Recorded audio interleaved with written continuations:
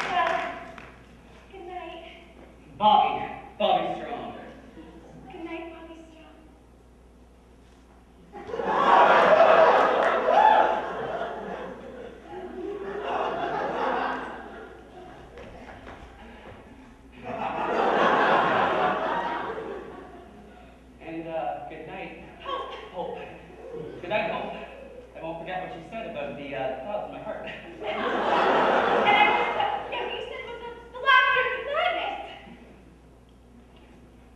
Wait a minute, what might see you again? Well, I'm afraid in this darkness you can't see me at all.